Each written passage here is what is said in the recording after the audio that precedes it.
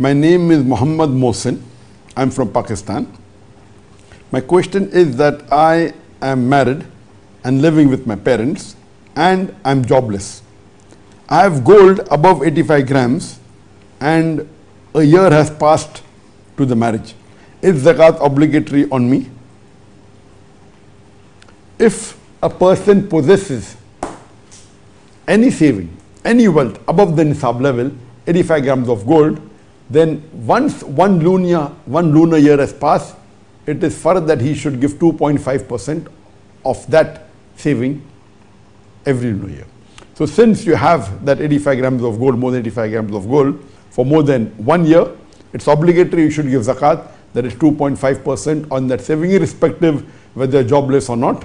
Since you have that saving for more than a year, then you should pay zakat on it.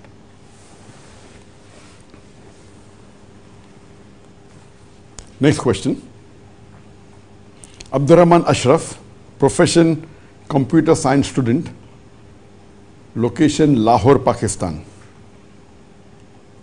Suppose I am working on building up such websites where there will be beer, adult site or any other religious activity posted in future.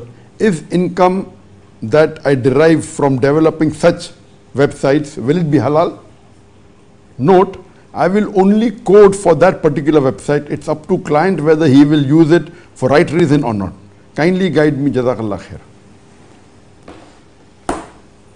The question posed by the brother is that if he makes a website or just the basic platform, and if someone uses that platform for selling beer or for wrong site or for other religions, for other religious purpose, so will he be responsible for that?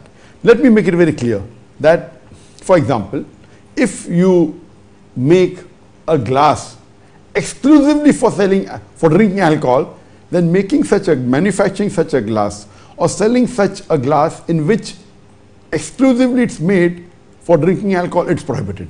But if you make a normal glass, in which normal people are supposed to have water or cold drink or juices, and if someone uses that glass for drinking alcohol, you're not responsible.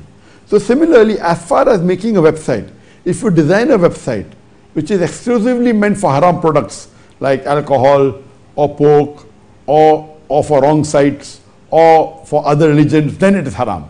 But if you make a basic platform, like there are many platforms available today in the market, where you make a platform and you sell it, and that person can on that develop any website or any platform which he wants, then making such a basic platform is permitted.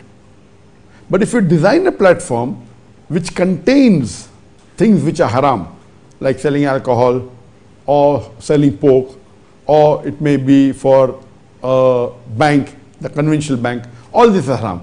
But if you make a generic platform on which someone can buy and develop the way he wants, then you're not liable and it's permitted and the income from that is halal.